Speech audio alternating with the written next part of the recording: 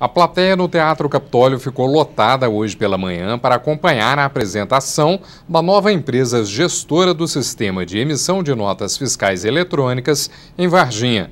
E tiveram que fazer a mudança assim numa rapidez tremenda e, e estreitou para nós esse prazo de adaptação. Então nós vamos ter que aprender num curto espaço de tempo tá? mas é, dá para ser realizado. Que, inclusive, pelo que eu já estou sabendo, esse programa vai até, é, é mais fácil que o outro de trabalhar. Então, se há essa facilidade, o serviço vai render mais. O secretário municipal da Fazenda explica que a mudança na prática ocorre só na empresa que vai administrar todo o processo. O que está ocorrendo hoje, na realidade, é uma mudança na empresa em que está que dá assessoria à prefeitura. Há uma continuidade do serviço, sendo que nós teremos somente que passar por um novo cadastro e com alguma até melhoria no sistema de funcionamento.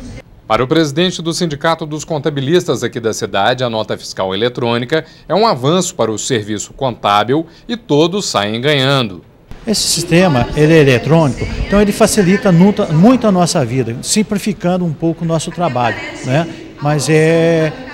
Imagina hoje se nós não tivéssemos o computador. Né? Então você trabalharia com 30 empresas em vez de trabalhar com 150 empresas. Um dos objetivos do sistema é registrar as operações de prestações de serviços sujeitos à incidência do imposto sobre serviços de qualquer natureza.